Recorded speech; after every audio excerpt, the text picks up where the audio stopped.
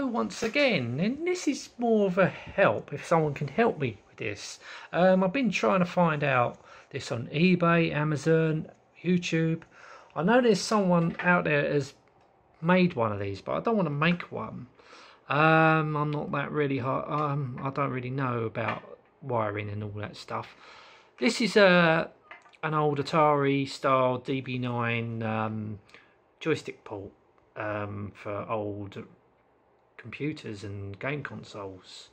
Um, but I want to know, is there a way connecting this to a USB so it plugs into your PC and so I can run these old joysticks through an emulator so I can play them. I have got a, a, sort of like a new retro joystick, but the reason why I'm asking this, so I've got a few of these old joysticks, and all I like about them, they're very quiet and um, they're not as clicky because they don't have the micro switches. Um, and I'm just wondering if there's a, a, device out there or somewhere that they can manufacture them, or they manufacture rather, that that can plug into something and the other end will be a USB so it plugs straight into your PC. If you know what I mean. So basically a DB9 to uh, USB.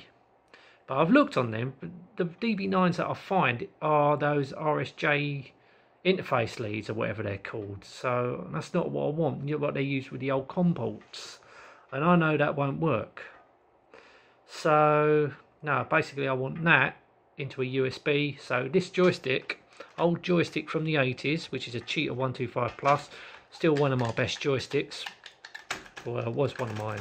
Well, it still is. I think it's, it's good to use. But Still got a few of these joysticks, but it'd be just nice to use with retro games when I um, play them on my PC via the emulator. But that's what I'm basically asking.